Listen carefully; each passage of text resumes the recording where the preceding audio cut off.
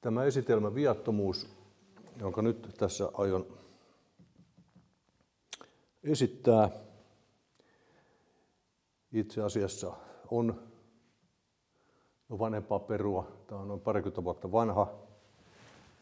Tässä kävi niin, että meidän esitelmöitsijä tältä päivältä varsinainen joutui peruuttamaan, niin mä joudun sitten raapasemaan tämän esitelmän, esitelmän sitten kasaan ja vähän muokkasin tätä uudestaan. Että tämä nyt on osittain vähän uusi, mutta joskus aikoinaan rupesin miettimään käsitettä viattomuus ja mitä se mahtaa tarkoittaa ylipäätään. Ja, ja tämä, tämä nyt sitten tältä tämä nyt kuulostaa. Eli mä pohdin tätä käsitettä ensin yleisellä tasolla ja sen jälkeen kolmen eri aforismin ja erilaisten näkökulmien kautta. Viattomuus käsitteenä tuntuu olevan hankala asia määritellä, ainakin silloin kun aloitetaan miettimään. Onko viaton aito ihminen? Onko viaton viaton ihminen? Siis onko hän viaton? Vai onko hänellä viat? Voiko olla viatonta ilman vikaa olevaa ihmistä olemassa? Onko viaton sitten täydellinen vai täydellisen tietämätön? Onko viaton vain hyväuskoinen ja sinisilmäinen hyväksi käytetty, höynäytettävä? Sinisilmäisyyttä on usein pidetty osoituksena viattomuudesta tai niin sanotusti maailmallisesti ajateltuna jopa yksinkertaisuutena. Olen kuitenkin sitä mieltä, että sinisilmäisyyteen liittyvää voimaa aliarvioidaan pääsääntöisesti. Sinisilmäisenä pidetty ihminen voi myös antaa väärinkäyttäjilleen mahdollisuuden ja usein ehkä vielä useamman mahdollisuuden ymmärtää omaa tilansa. Niin kutsuttu tiedostettu sinisilmäisyys siinä tapauksessa ei valvo omaa etuaan – ja siihen sisältyy ehdoton luottamus elämän oikeudenmukaisuuteen ja luottamus ihmisten väliseen veljeyteen. Tällöin tämä niin sanottu sinisilmäisyys uhraa itseään muiden kasvualustaksi tietäen tai tietämättään. Ilman kasvualustaa ja omien tarpeiden uhraamista, eli uhria, kehitys ei taas voi olla mahdollista. Kuten vanhempien uhrautuminen lastensa edestä on yksi tällainen esimerkki. No, perinteinen niin sanottu miesten maailma, joka palvoo voimaa ja väheksyy viattomuutta, kykenemättä ymmärtämään sen sisältämää ehdotonta voimaa henkiseen kasvuun. Siksi tuntuu siltä, että maailmallinen, maailmallinen ajattelu pyrkii aina tuhoamaan viattomuutta ja niin sanotusti kouluttamaan sitä niin sanotusti maailman hyväksymille tavoille, pyrkien näin estämään henkisen kehittymisen mahdollisuuksia.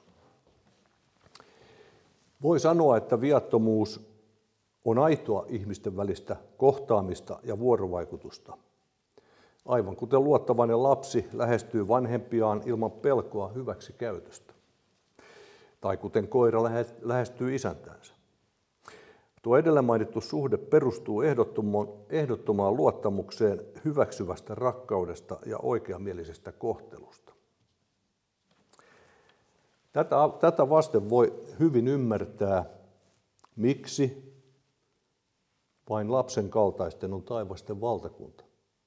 Ja yhtä lailla on helppo ymmärtää, miksi taivasten valtakunta pitää tuoda maan päälle, niin kuin sanotaan.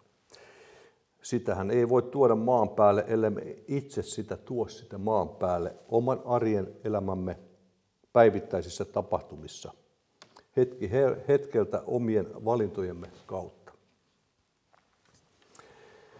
Kuten hän, jonka syntymäpäivän juhlia kristillinen maailma pian viettää, on todennut, että taivasten valtakunta on teissä itsessämme, itsessänne. Siis meissä kaikissa josta ruusuristilaiset käyttävät ilmaisua Kristusin noopissa, eli Kristus meissä. Se korkeampi tietoisuus, joka meidän on itsestämme löydettävä, ja joka voi meihin vasta virrata, kun egon varjot ovat antaneet sille tilaa, ja mahdollisuuden elää meidän ajatuksissamme, tavoissamme ja tottumuksissamme, joiden kautta ne virtaavat ja ilmenevät omaan päivittäiseen elämäämme sen verran ja sen mukaan, kun olemme kyenneet tuota korkeampaa inspiraatiota itseemme vastaanottamaan. Kukin tavallaan ja omalla laadullaan. Tähän viittaa yhtä lailla antiikin Kreikan keskeisten filosofien opetus, ihminen tunne itsesi. Sisältäsi tulet löytämään Jumalien salaisuuden. Pekka Ervast puhuu usein mystillisestä Kristuksesta ja sen merkityksestä. Ja lainaan tähän tietäjälehden artikkelin otetta vuodelta 1906. Ken tähän mystilliseen Kristukseen uskoo, hän ei ole sidottu yhteenkään opettajaan, yhteenkään kirjaan, eikä yhteenkään uskontoon. Hänellä ei ole mitään ulkonaista auktoriteettia. Tai jos hänellä on, se on hänen omalla vastuullaan. Sillä mystilliseen Kristukseen uskoja on itsenäinen olento. Hän etsii Jumalaa omassa itsessään – hän pyrkii tietoon oman itsensä olemuksesta. Hänen pelastuksensa ei ole missään kirjassa. Ei ihmisessä, ei mestarissa, ei arkkienkeleissa. Hänen pelastuksensa on ainoastaan iankaikkisuuden elävässä Jumalassa, jonka tuntoon hänen sisässään täytyy päästä. Tämmöinen on mystillinen kristinusko, ja se usko ei ole hengessä heikoille, vaan niille, jotka tosi teossa tahtovat hylätä eläimellisen riippuvaisuuden ja kohota inhimilliseen vapauteen. Sellaisia soisin, että kaikki teosofit olisivat itsenäisiä ihmisiä, jotka ovat oppineet totuuden aakkoset ja joihin voi luottaa. Jos teosofit umpimähkään uskoisivat toisen tai toisen ihmisen tai kirjan auktoriteettiin. Silloin syntyisi kyllä yksimielinen seurakunta samoin uskovaisten kesken. Mutta se seurakunta olisi samalla myös kirkko. Toista on semmoinen yksimielisyys, joka on vapaa tulos itsenäisten ihmisten totuuden rakkaudesta ja epäitsekkyydestä. Semmoinen yksimielisyys on kuin kalleen helmi kuninkaan kruunussa – sillä se on mystillisen Kristuksen voima ihmisten sydämissä. Ja se tekee elävän mestarin näkymättömän tai näkyväisen läsnäolon mahdolliseksi. Näin siis Pekka Ervasta. Tähän ajatukseen viittaa myös fransiskanin munkki Angelus Silesiuksin toteamus 1600-luvulta. Mitä se teitä hyödyttää, vaikka Kristus olisi syntynyt tuhat kertaa Betlehemissä, ellei hän synny kertaakaan sydämissänne.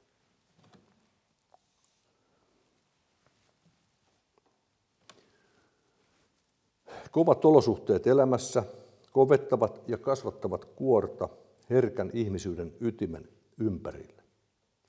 Ja niissä kulttuureissa, jossa ihmisyyden merkitystä vähätellään, tuo ihmisyyden aito ääni pyritään tukahduttamaan monilla tavoin, riippuen kulttuurista.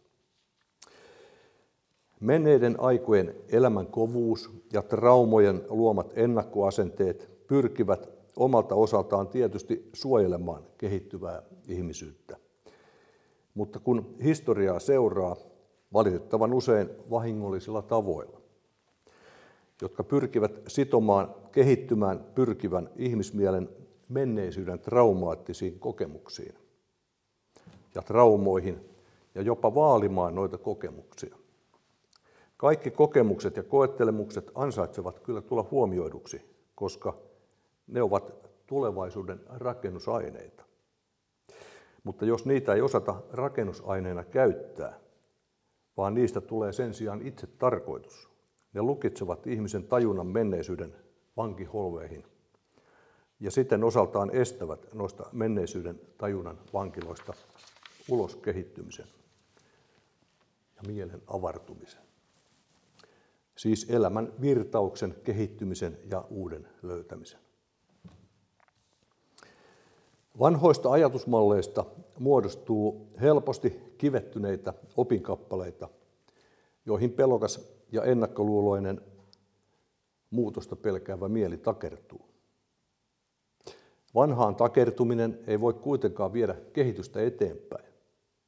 Menneen ajan tavat ja tottumukset ovat alun perin syntyneet toisenlaisissa olosuhteissa ja ajankuvassa, jossa niillä on ollut ajallista tilausta ja tiettyihin tarpeisiin olleet järkeviäkin vaihtoehtoja. Mutta ne ovat muodostaneet ajatuksen vankiloita ja dogmeja, joihin on sitten jääty kiinni.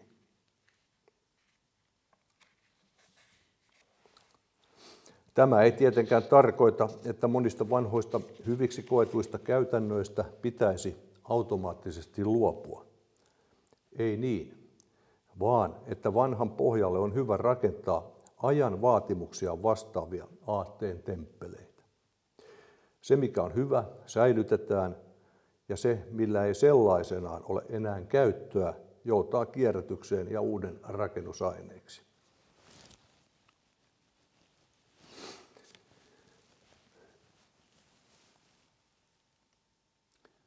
niin kuin sanotaan, että kun muodosta henki lähtee, niin muoto kuolee. Se koskee niin ihmistä kuin aattelisia rakennelmia. Ihmisen luomuksia kaikki tyyni. Kovista olosuhteista sen verran, että niistä selviytyminen vaatii kyllä itsekuria ja itsensä haastamista.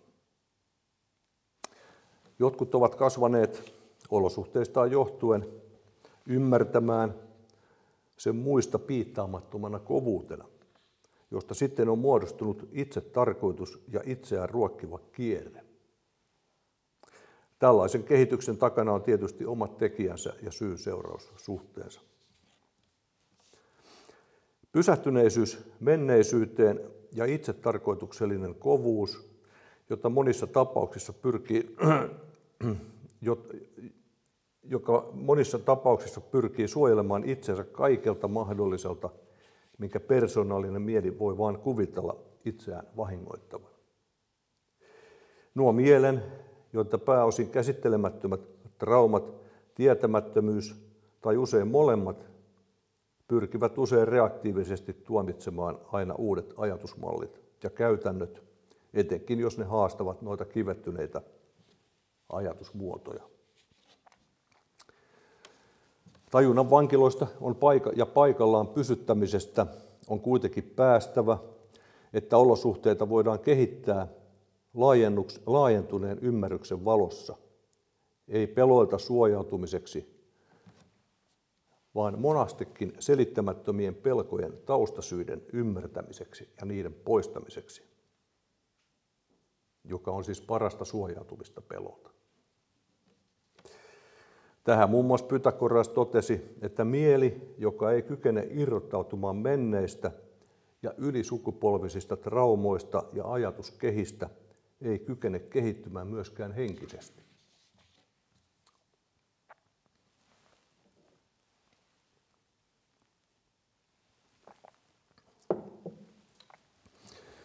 Ihminen pystyy ja kykenee vain siihen, minkä kykenee kulloinkin ymmärtämään siis sisäistämään. Tuo kyky kuunnella itseään vaihtelee yksilöittäin aina sen mukaan, miten on ajatuksiaan harjaannuttanut. Minkä verran pystyy pitämään itseään korkeamman ajattelun tilassa ja näkemään syy-seuraussuhteita asioiden takana. Tietoisemmankin ihmisen kohdalla tähän vaikuttaa elämäntilanne ja ajoittain stressi sisäistämättömät traumat ja niin edelleen. Tuossa aiemmin mainitussa mielessä olemme tavallaan syyn takeettomia korkeammasta näkökulmasta katsoen. Teemmepä ihan mitä tahansa. Siksi syyllistäminen ja tuomitseminen ei edistä hyviä eikä rakentavia päämääriä. Eikä se ole hedelmällistä eikä tarkoituksenmukaista. Siihen liittyy kuitenkin aina koston ajatus ja nujertaminen, vaan ihmisen auttaminen itsenäisen ajattelun ja itse tutkiskelun kynnykselle, niin että ihminen kykenee itse havaitsemaan omat varjonsa niitä itse työstääkseen. Joskus tietysti apua tarvitaan. Tämä on kaiken henkisen kasvamisen perusajatus. Ja niin kuin suomalainen sanalasku sanoo, kannettu vesi ei kaivossa pysy. Tämä ei tietenkään poista jokaisen itse itselleen rakentamien karmallisten oppiläksyjen häviämistä yhtään minnekään. Ihminen joutuu omien tekojensa hedelmät aina ajallaan kohtaamaan, mutta vain niistä oppiakseen ja edelleen kehittyäkseen. Jokainen korjaava valinta tietenkin lievää, lieventää siis karmallista kuormaa, jolloin voin ajatella, että armo alkaa saamaan sijaa ihmisen elämässä, kun ihminen alkaa itse ymmärtämään omaa tilansa. Yksilöllistä ja etenkin kollektiivisista tajunnallisista ehdollistumista vapautuminen vaatii kuitenkin avointa rehellistä ja ymmärtävää suhtautumista ihmiseen ihmisenä. Kaikissa tilanteissa.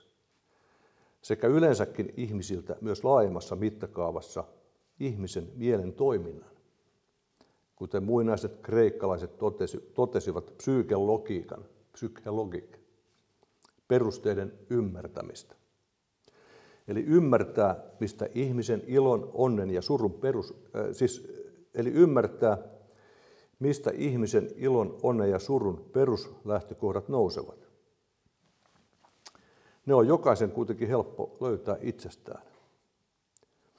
Ja ihmisen mielen perustason ymmärtämistä pitäisikin tulla, siitä pitäisi tulla osa valtavirran ajattelua mielestäni.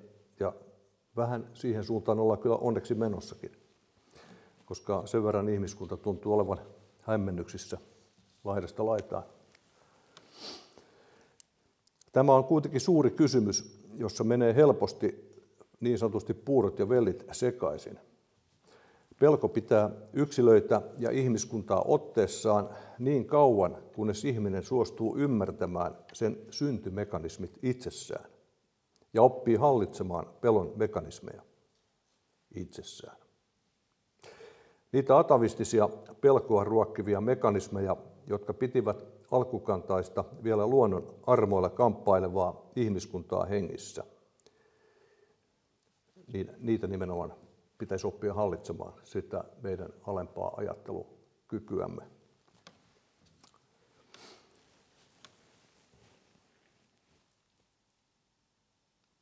Eli puolustaudu tai pakene reaktiota. Käytännössä siitähän on kyse järjestäytyneet yhteiskunnat, jotka toimivat jäsenistönsä turvakehyksinä aina laatunsa mukaan enemmän tai vähemmän, he voivat poistaa kollektiivisia pelkotiloja ja varjoja aiheuttavia tekijöitä, kuten yhteiskunnallinen eriarvoisuus, ihmisarvon loukkaukset ja korruptio, jotka ovat muutamia keskeisiä yhteiskunnallisten varjojen synnyttäjiä. No, sitten muutama sana ihan viattomuudesta. Ilman viattomuutta, joka tarkoittaa pitkälle luottamusta kantaviin elämänvoimiin, kuten sanotaan, jumalaiseen järjestykseen kaikkeudessa ja kaikessa, ei henkinen kasvaminen voi mitenkään olla mahdollista. Kuten vanha intialainen sanonta myös tämän asian toteaa, luota elämään kuten lintu luottaa siipiinsä. Viattomuuden tilan puhtaus on ehdottomasti saavutettava vaihe vaiheelta ennen kuin korkeampia energiavirtauksia voidaan vastaanottaa. Eli uutta viiniä ei voi kaataa vanhaan leiliin, tai kuten Pythagoras asian ilmaisi, jos joku kaataa puhdasta vettä mutaiseen kaivoon, sekoittuu muta veteen eikä se ole enää kirkasta. Ajatusten ja tottumusten puhdistaminen ei yleensä voi tapahtua kertaleikkauksella, vaan yleensä vähitellen enemmän ja enemmän itseään ja elämää ja itseään siinä elämässä ymmärtäen. Tässä on muutamia tällaisia teesejä viattomuudesta, niin kuin olen antanut itseni ymmärtää. Tämä on vähän luettelonomaisesti tässä. Viattomuutta ei voi tahrata, vaikka viaton joutuisi petojen luolaan ja tulisi hyväksi käytetyksi. Viattomuus on tahrattomuutta, johon eivät negatiiviset ajatusenergiat pysty tarttumaan. Viattomuus on voimaa auttaa muita löytämään oma viattomuutensa. Viaton ihmettelee, viaton osaa säilyttää viattomuutensa, vaikka mitä ympärillä tapahtuisi. Viattomuus on ehdottomaan hyvään uskomista ja luottamista. Viattomuus on luottamista elämään ja se on uskoa ihmisyyteen. Viaton ihminen näkee muissa aina hyvät puolet ja on kääntänyt katsensa pois muiden varjoista. Viattomuus on aina lähellä ihmisen perusolemusta, henkeä. Viattomuus ei anna itsensä sokaista spekuloineilla eikä lähde itse spekuloimaan. Viattomuus katsoo maailmaa Jumalan silmin niin hyvää kuin pahaakin. Vuorisaarna, kuten muutkin henkisten traditioiden eettiset ohjeet, kehottavat lähtemään katartiksen eli puhdistuksen tielle ennen kuin voi turvallisesti odottaa henkistä kehitystä tapahtumaan. Ja kuten aiemmin tuli mainittua, vain lasten kaltaisten on taivasten valtakunta. Niiden, jotka sydämessään tietävät, että elämän voima ei ole saavutettavissa niistä rakenteista, jotka ovat ajallisia ja siten katoavaisia. Kaikki ne rakennelmat, mukaan lukien ihminen maallisine murheineen ja iloineen, ovat katoavaisuuden lainalaisia täällä maan päällä. Myös ajatusrakennelmien, jotka ovat muuttuvassa ajanvirrassa tilannekohtaisesti rakennettuja, tiettyjä tarkoitusperiä pönkittämään luotuja, aatteellisia rakennelmia, niiden on väistyttävä kehityksen vaatimuksen, eli ajan virrassa tapahtuvan kehityksen tieltä. Voiko sitten niin sanottu pahantekijä olla viaton? Mielestäni voi, koska monet tekevät pahaa uskoessaan tekevänsä hyvää. Voi tehdä myös pahaa ymmärtämättä tekevänsä pahaa. Ja sitä voi kutsua syyntakettomuudeksi. Naivisti tietämättömät ihmiset ovat usein viattomuuden tilassa, josta heidät voidaan helposti johdattaa tekemään mitä tahansa, jos heissä tietoinen ajattelu ei ole vielä kehittynyt eikä herännyt.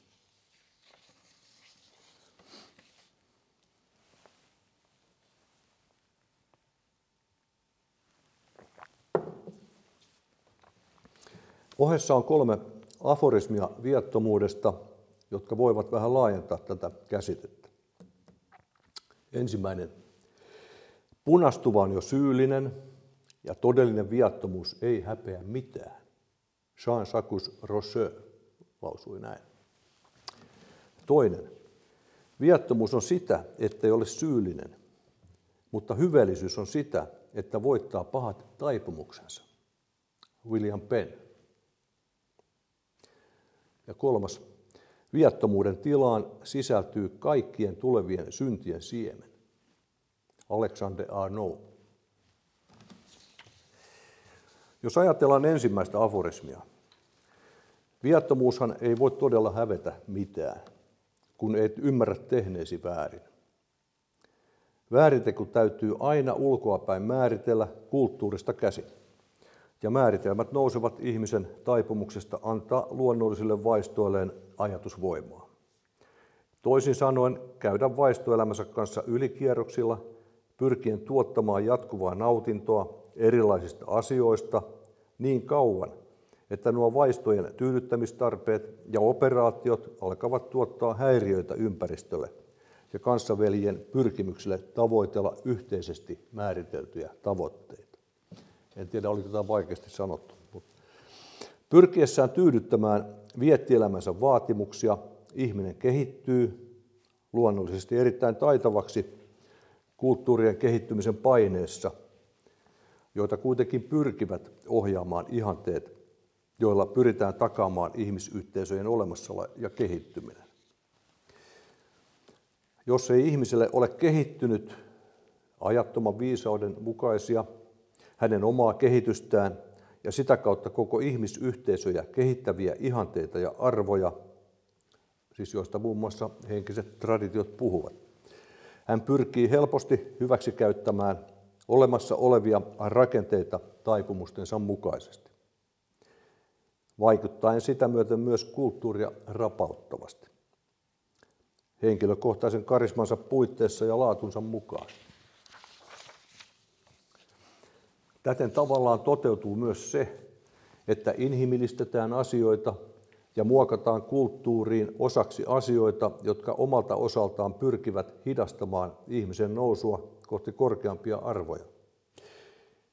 Toisin sanoen hyväksytetään älykkäästi osaksi kulttuuria ilmiöitä, joiden kautta ihmiset voivat jatkaa eläimellisen puolensa toteuttamista ikään kuin hyväksyttävästi.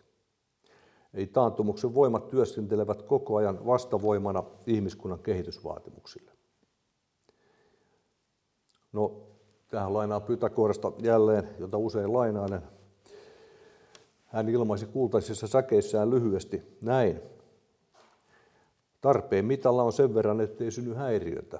Ja minun mielestäni se on hyvin viisasti sanottu. Eli kyseessä on suhteellisuuden taju ja kohtuus kaikessa toiminnassa.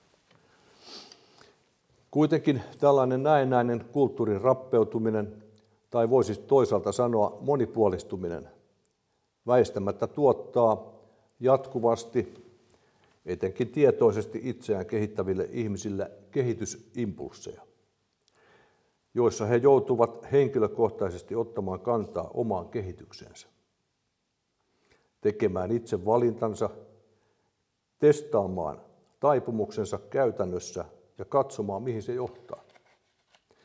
Tämä vapaa valinta länsimaisessa kulttuurissa nimenomaan vahvistaa ihmisen vapaan valinnan merkitystä ja erottelukyvyn kehittymistä meissä. Kyse on myös siitä, että ihminen on viime kädessä itse vastuussa omista valinnoistaan ja sitä kautta tulevaisuudestaan ensin henkilökohtaisessa elämässään ja sitten koko yhteisön puitteissa kollektiivisesti. Eli tätä vasten voi myös ajatella kollektiivisen karman kehittyvän.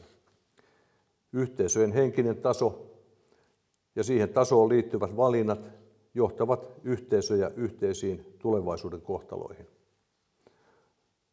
Ja kuitenkin omista virheistään tietoisesti oppivaksi prosessiksi. Jos ei kulttuurin anneta sopivan vapaasti kehittyä ja päästetä padottuja kehityspaineita pikkuhiljaa purkautumaan, nuo määritelmät, joita voidaan kutsua eettisiksi ohjeiksi, voivat kivettyä pahimmillaan liiankin tiukoiksi yhteiskuntamoraalisiksi dogmeiksi. Silloin puhutaan jo ahdasmielisistä yhteisöistä, joka ei suo kasvun ja tietoisuuden kehittymisen varaa jäsenille. Dogmaattiset järjestelmät turvaavat yleensä yhteiskuntakehitystä enemmän tai vähemmän tietämättömyyden pimeydessä elävissä yhteiskunnissa, joissa yksilöiden ajattelun taso ei ole vielä päässyt kovin korkealle tasolle laajemmassa mittakaavassa. Näin ollen myös dogmaattisten järjestelmien luoma autoritäärinen turva ja sen kannatus on näissä olosuhteissa luonnollinen valinta.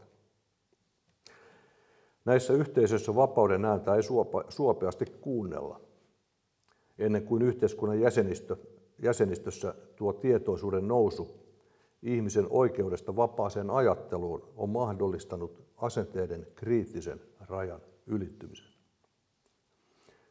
Eli suurin osa niin sanotusta pahasta tehdään hyvässä tarkoituksessa tietämättömyyden ja ymmärtämättömyyden tilassa.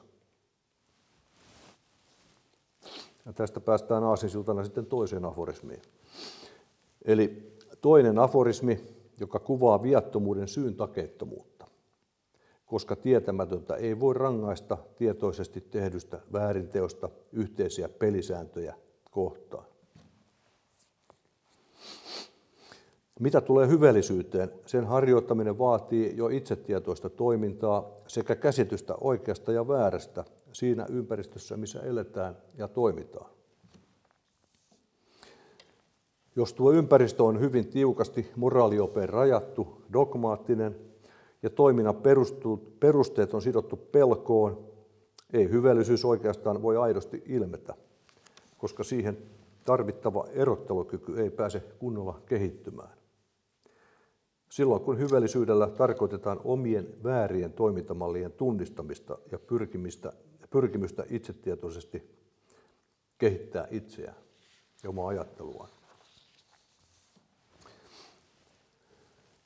Vain avoin, suvaitseva ja toimintakykynsä luottava ympäristö, jonka toimivuus perustuu jäsenistönsä henkiseen kypsyyteen, voi tuottaa kokemuksesta viisaita ihmisiä, jotka ovat valmiita hyvällisyyden tielle tai itse puhdistuksen tielle, kuten eri uskonnot sitten asian ilmaisevat.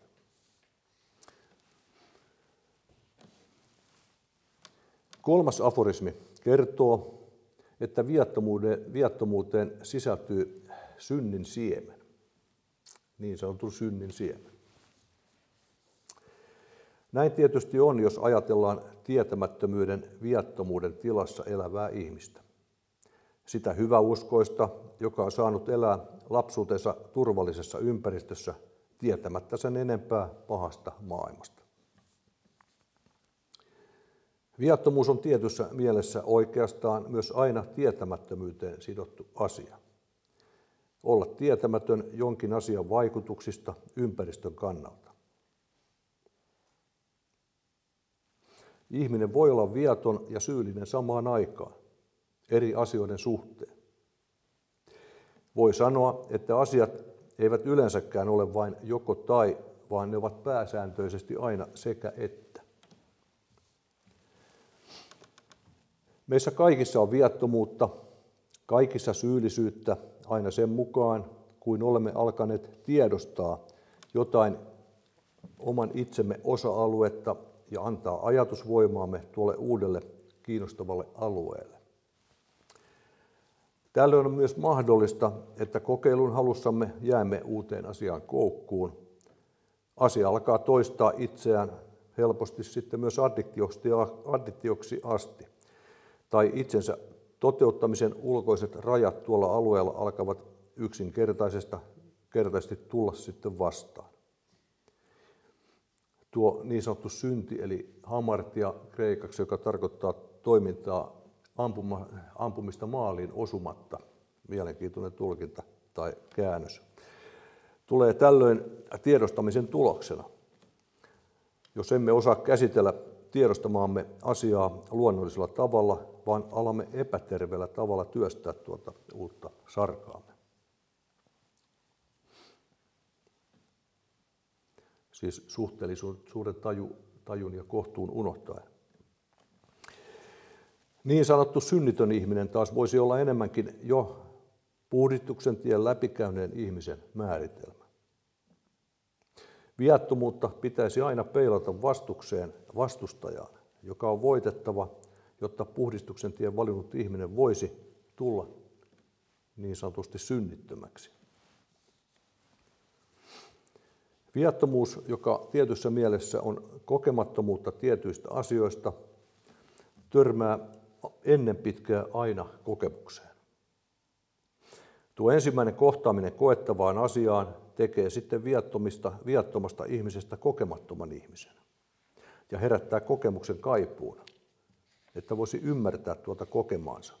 Eli toisin sanoen kokemuksen kautta tulla kokeneeksi ja sitten ajallaan ymmärtää itseään ja sitä, miksi tiettyjä kokemuksia tarvitsee omaksi kasvualustakseen. Muun muassa Pekka Ervas tuo kirjassaan Tähtikoulut esille näkemyksen, jonka mukaan maaplaneettaa voidaan interplanetaariselta kannalta kutsua tuskallisten ponnistusten kouluksi. Tämän lisäksi on olemassa myös muita korkeampia planetaarisia asuinsijoja, joille kehittyneemmät sielut inkarnoituvat korkeampia interplanetaarisia tehtäviä varten. Vedanta-kirjat kutsuvat näitä vaikunthaplaneetoiksi. Ja Jeesus Nasaretilainen totesi isänsä kodissa, kodissa olevan muitakin asunsijoja. Ihmissuvun, ihmissuvun, joka tajunnallisten valmiuksensa vuoksi on inkarnoitunut maaplaneetalle tuskallisten ponnistusten kouluun tai kiusausten kouluun, niin kuin sanotaan, voisi ajatella kosmiselta näkökannalta olevan viattomuuden lastentarha-asteella, ja siltä usein näyttää, kun maailman tapahtumia seuraa. Meidän viattomuutemme tarvitsee kokemuksensa, vastuksensa, että tajuamme ja, ja ymmärryksemme kehittyisi vastaanottamaan korkeampia haasteita, jopa jatkossa niin korkeita, että ne ulottuvat tämän planeettamme piirin ulkopuolelle. Silloin kun kasvamme viattomuuden tilasta kokemattomuuden kautta kokeneiksi ja kun ymmärrämme kokemuksemme viisautena itsessämme. Olemme kasvaneet ihmisinä silloin aikuisen asteelle. Suurimmalta osalta meiltä kuitenkin jää, meistä kuitenkin jää koulu kesken, emmekä kykene saavuttamaan riittävää kehitysastetta korkeampien olemassaolojen kansalaisiksi, ennen kuin vasta pitkän tapahtumarikkaan erilaisten tapahtumia ja kokemuksia mahdollistavien olemassaolojen kautta. Näin saavutetun laajan kokemusperäisen viisautemme tai tietopankkimme avulla voimme sitten vähän vähältä nousta kehityksen tikapuita ylemmille askelmille, joista jokaiselta avautuu, avautuu aina laajempi näkö, näköala nähtäväksemme ja laajemmat mahdollisuudet koettavaksemme ja ymmärrettäväksemme. Henkisen kehityksen päätepisteeseen maaplaneetalla johtavat eri vihkimysasteet, joista alempia nykyisin on kuvattu psykologisiksi kokemuksiksi, oivalluksiksi, joista korkeimmat voivat saavuttaa vain ne pitkälle kehittyneet yksilöt, jotka ovat kehittäneet itsensä aineen rajallisuudesta riippumattomiksi, käyneet läpi tämänkaltaisen aineellisen ympäristön mahdollisuudet ja ymmärtäneet itsessään sen kaiken. Elämän koulussa on kaikki todellista, ja siinä on kysymyksessä todelliset käytännölliset vastakohdat, kuten Ervast asian toteaa. Kokemusperäisen erottelukykymme kehittymisen kautta hitaasti opimme kokemuksissamme kiinni roikkuessamme. Olen tämän kokemuksen tuoman opetuksen sisäisesti ymmärtänyt, en tarvitse enää tätä kokemusta. Täten myös kokemustemme laatu jalostuu ja hienostuu. Karkeat valinnat eivät saa enää otetta meistä ja alamme pikkuhiljaa kehittyä kohti niin sanottua synnittömyyttä, kuten sitä perinteisesti ajatellaan. Kykenemme ohjaamaan ja keskittämään käytössämme olevan ajatusenergian omaa kestävää kehitystämme palvelevaan suuntaan. Kokemuksen janomme laadun myötä meille myös valikoituvat elämän antamat haasteet, jotka seuraavat aina henkisen kehityksemme kulloistakin tasoa. Tätä kautta askel askeleelta myös vihkimystien portit tulevat itse kullekin ajallaan aukeamaan, eli tie korkeampien maailmoiden kansalaisiksi. Ja lainaan tähän vielä Ervastin tähtikirjasta katkelmaa emme voi tulla täydellisiksi tällä maaplaneetalla, ellei me täysin voita mustan magian houkutuksia, eli niin sanotun saatanan, kuten uskonnolliset teokset asian ilmaisevat. Ja saatanahan tarkoittaa vastustajaa, vastusta, kehityskitkaa, vastavoimaa, sitä, joka houkuttelee kokemaan, sitä, joka tarjoaa sen vastustavan kitkan, jota vasten meidän on ponnisteltava saadaksemme siipemme niin vahvoiksi, että ne kantavat meidät jatkossa kulkua hidastavien, hidastavien kuilujen yli. Joulun aika ja viattomuus liittyvät yhteen Kristuslapsen muodossa. Kristuslapsen, joka on viaton ja syntyy seimeen, kotieläinten keskellä. Kristustietoisuus on uuden ihmisen syntymä meissä. Ihmisen, joka voi syntyä vain viattomuuteen. Viattomuus meissä voi syntyä vasta, kun olemme kesyttäneet meissä asustavat sokeat eläimelliset voimat hyödyllisiksi ja kehitystämme tukeviksi kotieläimiksi. Vain nuo kesytetyt voimavarat voivat kantaa kehitystämme eteenpäin, jalostaa meitä ja antaa kykyä käyttää korkeampaa tietoisuuttamme suuren suunnitelman työkaluna. Lopetan tämän pohdiskelun James Baldwinin aforismiin, joka kuuluu näin.